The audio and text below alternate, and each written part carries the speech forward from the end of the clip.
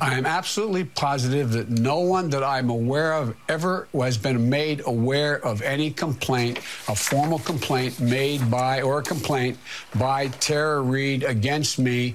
Look, look, I'm not aware that I'm aware of anybody being aware of any persons knowing that anyone was aware of a complaint to my awareness. Welcome back to Punchlines. Let me just grab a pen, a good pen.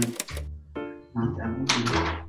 It's Monday, so we're going to check in and see what the cartoonists and comedians and the people in the memeverse are up to. And uh, today we wanted to take a look at the response to the Tara Reade Biden allegations, which is pretty rich but also touchy territory for uh, political comedy. The whole country is struggling with the Me Too issue. And comedy is a way to sort of probe the contours of that question. Biden finally addressed the allegations after a lot of questions were raised over the last few weeks.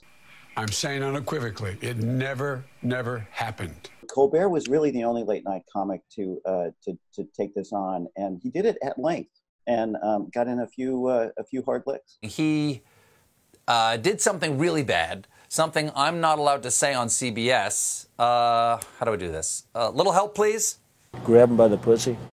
Yes, what he said. The right wing is having a heyday right now, pointing out the hypocrisy with uh, the Kavanaugh treatment. So Branco has this very direct hit, uh, basically hoisting the uh, the Democrats on their own petards here. The women that, that were so outraged at Kavanaugh's behavior seem to be okay with it uh, in, in the case of the Biden accusation. Here we have a Gary Varvel cartoon that is uh, a little hard on Hillary, both in the caricature and in the commentary.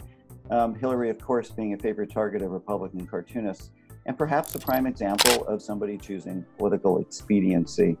I got to say, one part of the Tara Reade story that I find kind of breathtaking is that it's exactly perfect for Republican political warfare. It is right out of the Karl Rove playbook in American political warfare.